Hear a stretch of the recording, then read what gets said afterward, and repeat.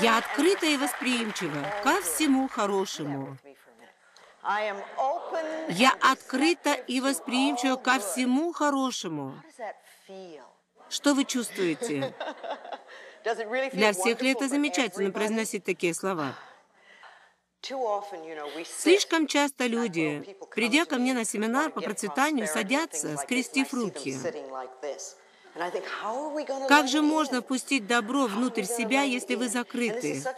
А ведь это такой замечательный символический жест. Я открыта и восприимчива ко всему хорошему. Не капельки добра, а ко всему хорошему. Когда вы пользуетесь этим жестом, Вселенная замечает это. Сегодня я буду отвечать на ваши вопросы. Мы попробуем определить, что мешает вашему процветанию. Многие люди думают, что процветание – это только деньги. На самом деле существует и много других аспектов процветания. Это и время, и любовь, и успех, и радость, и комфорт. Это мудрость, красота, хорошее здоровье и, конечно же, деньги. Например, вам всегда не хватает времени, или если вы всегда опаздываете, исчерпываете весь лимит времени и испытываете давление от этого, значит, вы бедны временем. Если вы считаете, что вам принадлежит все время мира, что вы все заканчиваете вовремя и все происходит в нужное время, тогда вы действительно процветаете. А что с успехом? Думаете ли вы, что успех недостижим? Тогда вы никогда его не достигнете. А если чувствуете, что можете быть успешны во всем, значит, вы процветаете. Комфорт. Кто из вас живет в комфорте? Или вы ведете совершенно дискомфортную жизнь, трудную и напряженную? А мудрость? Чувствуете ли вы себя процветающими в этом аспекте жизни? Доступна ли вам вся мудрость мира? Или вам кажется, что вы ничего не знаете, ничего не можете понять? Но чувство, что вы действительно едины со Вселенной и можете ей доверять, находится глубоко внутри вас. Вы можете быть абсолютно процветающим человеком, принимая все изобилие Вселенной. А любовь? Ощущаете ли вы изобилие любви, протекающей сквозь вас? Или вам ее недостаточно? Или у вас в жизни ее почти нет? Вы бедны любовью? А как обстоят дела с радостью? Купаетесь ли вы в море радости? Или едва позволяете себе чуть-чуть порадоваться? Тогда вы просто безрадостный нищий. А красота? Видите ли вы во всем красоту? Позволяете ли вы себе щедрость ощущать ее?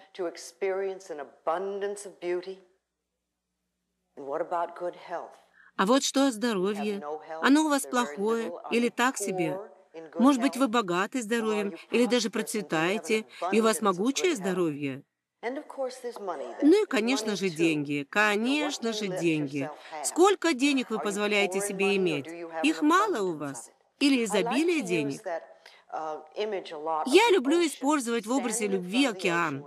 Вы стоите перед океаном любви с контейнером в руках и черпаете из него.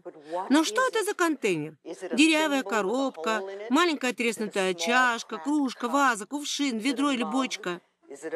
Может быть, ванна или целый водопровод?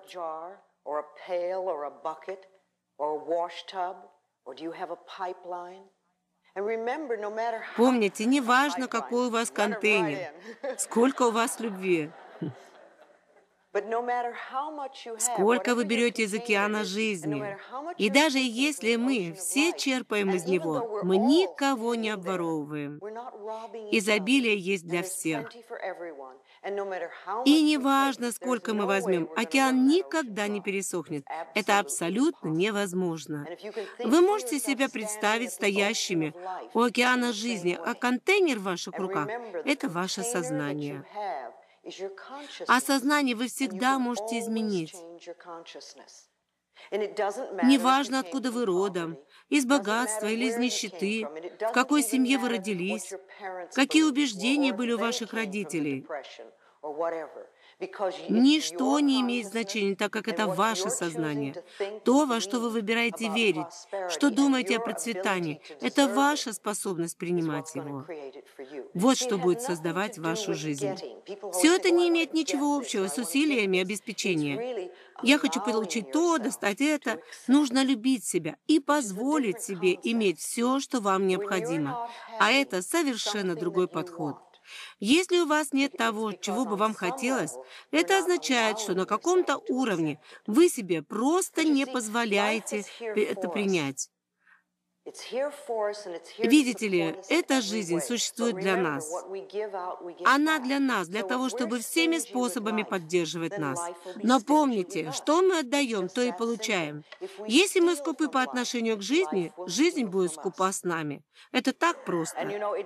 Если мы будем воровать у жизни, жизнь будет воровать у нас. Я знаю, что в магазинах часто воруют.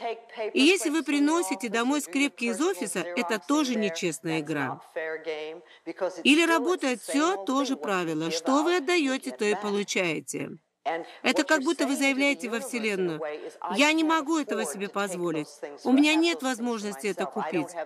Поэтому мне нужно это у кого-то взять». Это нищенское мышление. Оно никогда, никогда не создает процветание. Жизнь существует для нас, и на этой планете невероятное изобилие всего. Иногда мы видим лишь нехватку чего-то, но изобилие здесь огромное. Только подумайте, на этой планете так много еды, что мы на самом деле можем прокормить каждого. Да, это правда, что есть люди, которые голодают, но это не из-за нехватки пищи. И мы часто сжигаем урожай в своей стране лишь за тем, чтобы поднять цены. И если люди голодают, то это из-за недостатка любви, из-за того, что люди позволяют таким вещам случаться. На этой планете абсолютное изобилие денег. Денег так много, что мы не можем сосчитать их все. Правда и то, что у многих людей денег очень мало. Но это не имеет никакого отношения к количеству денег. Это лишь недостаток сознания. Это неприятие, это мысль. Я не заслужил, я не заработал. На этой планете живут миллиарды людей, но есть люди, которые говорят, что они одиноки. Это не имеет никакого отношения к количеству людей. Это происходит потому, что мы строим вокруг себя стены, не позволяя любви войти в нашу жизнь. На этой планете изобилие воздуха. Подумайте, как бесценен воздух, которым мы дышим. Но мы без всяких условий верим, что за каждым вдохом последует следующий. А если его не будет, то мы не проживем и трех минут, даже не выйдем из этой комнаты живыми. И несмотря на это, мы настолько безусловно верим, что всегда будет следующий вдох, что я никому не говорю, не дышите, а то мне не хватит. Подумайте, если только самого драгоценного воздуха достаточно для всех, и он дан нам в таком изобилии, что его хватит каждому до конца жизни, почему же мы не верим, что Вселенная и обо всем другом позаботится? Когда вы испытываете такого рода страхи, очень хорошо читать главу 6 Евангелия от Матфея. Сила, которая нас создала, все приготовила для нас. И только лишь мы считаем, чего мы заслуживаем, и что принимать, и что нам нужно делать. То, на чем мы концентрируем внимание, увеличивается. Нужно быть очень осторожными, чтобы не концентрироваться на нехватке, долгах, болезнях и негативе. Иначе это будет увеличиваться в нашей жизни и расти. Если вы будете концентрировать внимание на счетах и рассматривать их как врагов, они станут врагами. И вам никогда не хватит средств, чтобы заплатить по всем счетам. Счета — это замечательная вещь. Они означают, что люди доверяют вам, предоставляют свои услуги и товары, зная, что мы в состоянии их оплатить. Так давайте встречать счета с любовью. Когда вы подписываете счета или оплачиваете их, радуйтесь, просто радуйтесь, что вы в состоянии сделать это. Помните, что мы отправляем, то и получаем. Перестаньте думать, о боже, за что опять такие счета? Начните чувствовать свободный поток, текущий к вам через ваши счета и через вас. Очень важно наше восприятие самих себя. Положительное восприятие себя – путь к процветанию. С этого начинается процветание. Неважно, сколько у вас денег. Но если вы недовольны собой, вы не сможете ими наслаждаться. Посмотрите на свою жизнь. Все, что вы имеете в своей жизни, есть отражение того, чего, по вашему мнению, вы в этой жизни заслуживаете. Это отражение той правды о себе, которую вы верите. Посмотрите на свой дом. Это то место, в котором вы любите жить. Он удобен и радостен? Или он грязный и беспорядочный? Подумайте о своей машине. Нравится она вам или нет? Верно ли она отражает вашу любовь к себе? А ваша одежда, она неприятна для вас, но вам приходится ее носить? Или она вас радует, ведь это снова отражение вас самих. А что с вашим банковским счетом? В каком он состоянии? Что вы чувствуете? Вы дружите с деньгами? Они ваши друзья или ваши враги? Все это очень важно, так как все, что мы имеем в жизни, есть отражение нас самих. Помните, где бы мы ни были, что бы ни происходило, это отражение нас самих. Это лишь мысль, а мысль можно изменить. Это то, во что вы верите о себе, о жизни, и что, по вашему мнению, заслуживаете. Сейчас давайте достанем зеркала.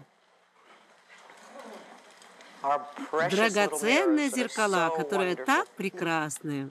А кто из вас ежедневно работает с зеркалом? Да, немного.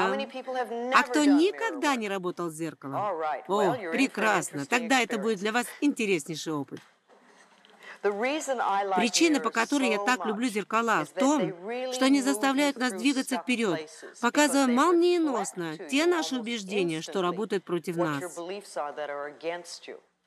Давайте сейчас посмотрим в зеркало.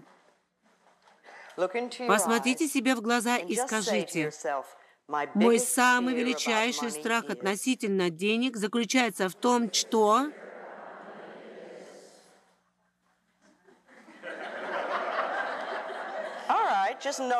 Да, отметьте, что поднимается в душе, какие страхи, какие чувства.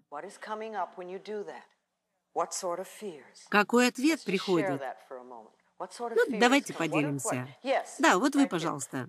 Um, Мой величайший страх относительно денег заключается в том, что их у меня могут отнять. Ну или что обо мне не позаботятся. Или что мне не хватит денег. Я много работаю с зеркалом, с процветанием. Кто у вас забирал деньги, когда вы были маленькой? Мои родители меня слишком контролировали, особенно в деньгах. Они не позволяли мне тратить деньги, как я хотела. Отец очень боялся разориться. Это было давно, но я знаю об этом, и это преследует меня.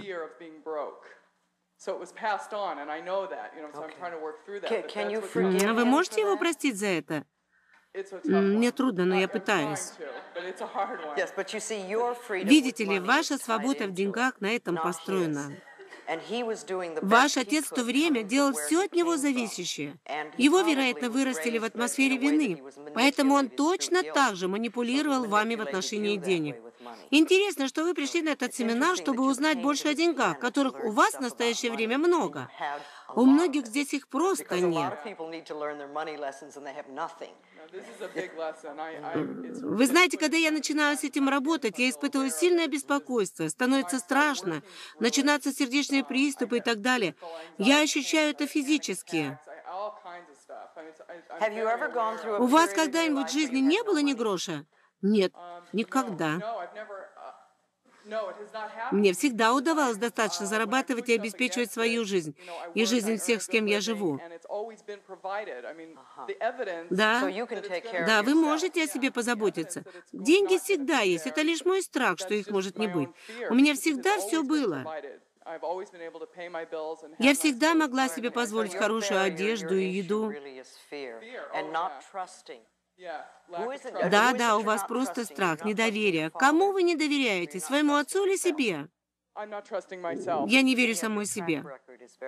И все же вы очень хорошо управляете с деньгами. Ну, может, года полтора назад была трудная ситуация. Но я всегда боюсь. Боюсь потерять деньги, боюсь остаться без денег. Мне кажется, если вам дать 5 долларов, то вы на них очень хорошо проживете целый месяц. Но это еще вопрос.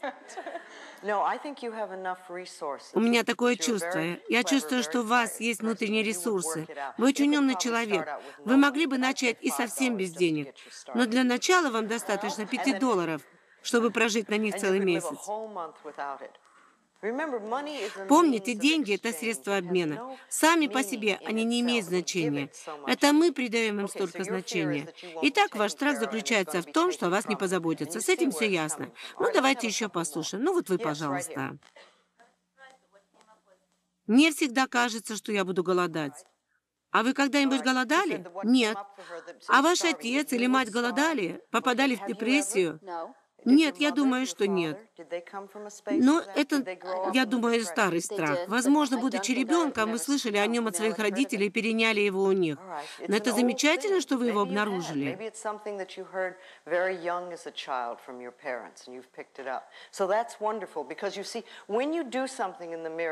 Когда вы работаете с зеркалом, возникают различные мысли. Хорошо бы их записывать.